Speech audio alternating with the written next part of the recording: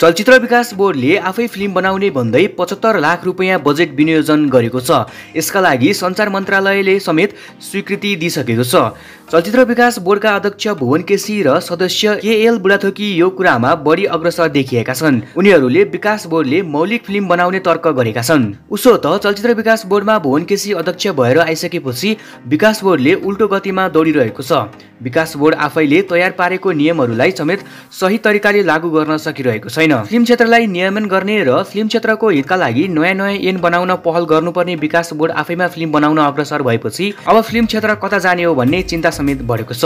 बोर्डले फिल्म बनाउने भएपछि चलचित्र निर्देशक मनोज पण्डितले सामाजिक सञ्जालमा लेखेका छन् चलचित्र मैत्री नीति बनाएर संसदबाट पारित गरी लागू गर प्रशासनिक सहजीकरण गरिदेऊ नयाँ र प्रयोगधर्मी सिनेकर्मीलाई उत्प्रेरणा देऊ तर आफै फिल्म बनाउँछु भन्ने निर्णय नगर।